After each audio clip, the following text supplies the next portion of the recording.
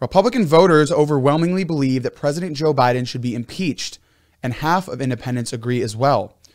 The latest numbers from Rasmussen Reports National Telephone and Online Survey found that 52% of likely U.S. voters support the impeachment of Biden, including 38% who strongly support it.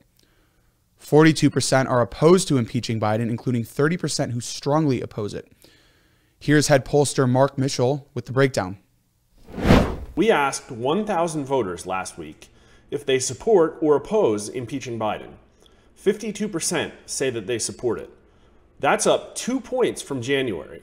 38% say they strongly support impeachment, and that's up five points.